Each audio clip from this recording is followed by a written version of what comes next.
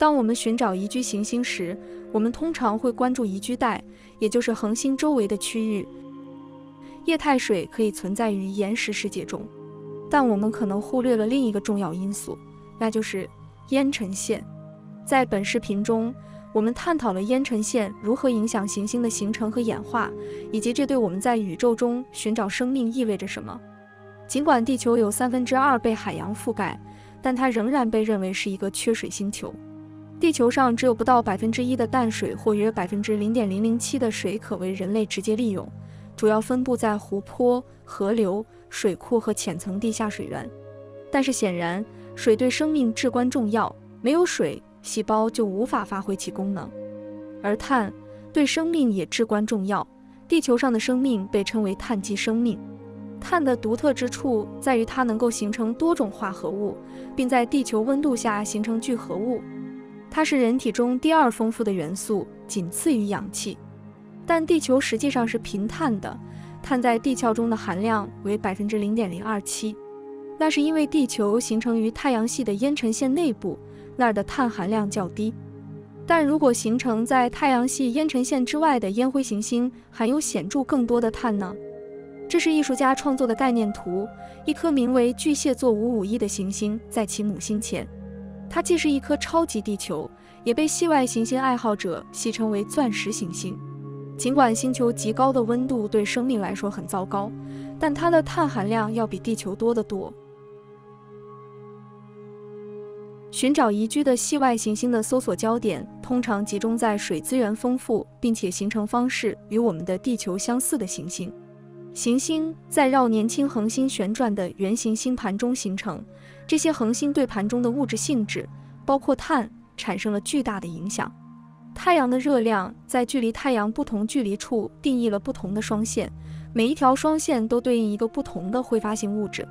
在某个特定的双线之外，压力和温度使某种特定的挥发性物质保持固态；而在该线之内，同样的挥发性物质可以升华为气态。由于固态物质更有可能残留并形成行星。所以在特定化学物质的双线内部的区域会有较少的该种化学物质的固态物质，这使得它在行星形成过程中变得不那么可获取。这就是为什么地球上的水如此稀少，而离太阳更远的地方冻水却丰富的部分原因。地球是在双线内部形成的，而它的大部分水很可能是后来才被送到地球的。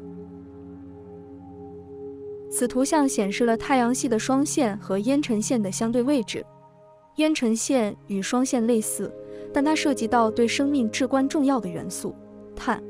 这是恒星周围的特定区域，该区域的热量不足以使碳升华，因此分子中的碳保持固态，这使得它更容易参与行星的形成。所以在烟尘线以外形成的行星应该比地球更富含碳。如果地球在烟尘线内形成，那么年轻太阳的热量将使富含碳的化合物变为气体，而气体更容易分散。这意味着在形成地球的固体物质中，碳的含量就较少。从我们的角度看，这似乎是合理的，所以地球最终含有的碳较少。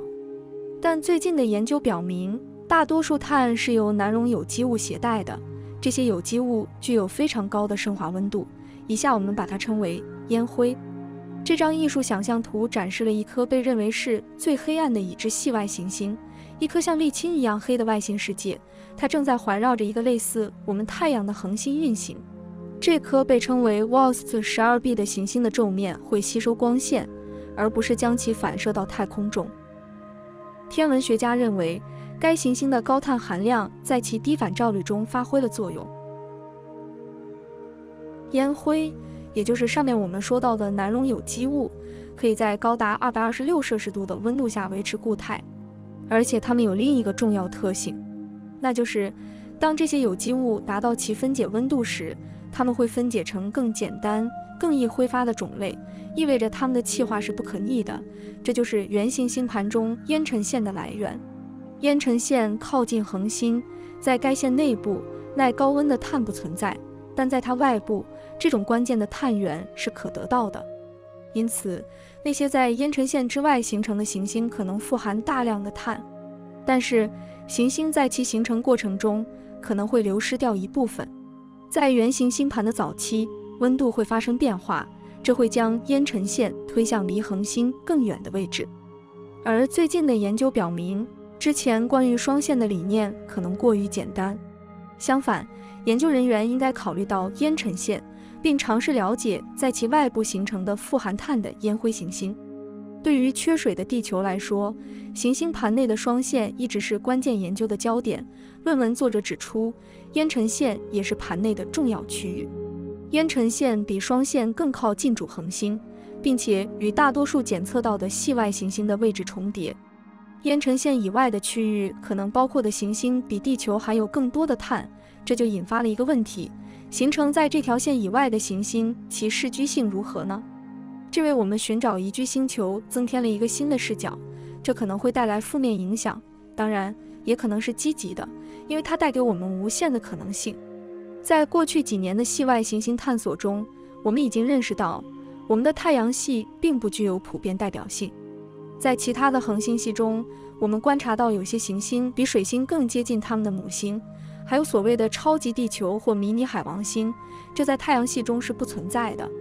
这些或是巨大的岩石，或是小型的气态行星，事实上才是最常见的行星系统类型。所以在银河系中所有其他恒星系内，存在着我们之前未曾认知过的。内部含有更多碳的天体，在太阳系中没有一个在烟尘线和双线之间形成的富含碳的行星，但其他的系统可能有。遗憾的是，人类当前无法直接利用现有的技术来识别它们，因此研究人员转向了对行星形成的模型进行研究。当研究人员对行星形成进行建模时，在烟尘线内部发生了一些奇特的现象。他们模拟了富含硅酸盐的世界，其中碳的质量占比为百分之一。他们还调整了水的含量，发现这些行星上的气体外溢会形成一个富含甲烷的大气层。这样的大气环境为形成雾霾提供了机会。我们可以在土星的卫星泰坦上看到这种现象。这是一个富含甲烷的世界，其表面遍布液态甲烷湖。这张由卡西尼号宇宙飞船拍摄的土卫六的真彩色图像，显示了其浓厚朦胧的大气层。虽然大气主要是氮，但它也含有约百分之二点七的甲烷。在每一个行星盘中都存在这样的区域，那里诞生的行星会从它们的地幔中释放出更多的挥发性碳。研究人员说，这很容易导致雾霾的自然产生。这种雾霾已经在系外行星的大气层中被观察到。它极有可能改变我们对于哪些世界适合居住的计算。这张是地狱行星 VHS 一二五六 b 的艺术想象图，一颗距离我们约四十光年的系外行星。詹姆斯·韦伯太空望远镜于二零二三年三月在其大气中检测到甲烷。这种大气是一个信号，它表明一个系外行星的地幔中含有大量的挥发性碳。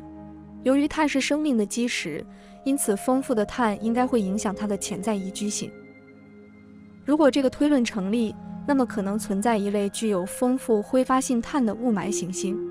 设想一下，有一个与地球大小相当的世界，其中的碳比地球还要多。那么，这对于该星球的宜居性以及生命的可能性意味着什么？我们不得而知。但这无疑是一件非常令人兴奋的事情。随着詹姆斯·韦伯太空望远镜的出现。对系外行星的搜寻正在火热进行中。除了观察宇宙中最古老的光线外，韦伯坚定的目光还揭示了以前未知的系外行星以及已知世界的新细节。系外行星科学家准备巩固他们对这些雾霾的理解，以解答上面的所有问题。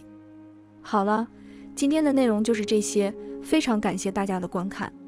如果你喜欢这个话题，请给我们点个赞并关注我们的频道。我们下期再见，拜拜。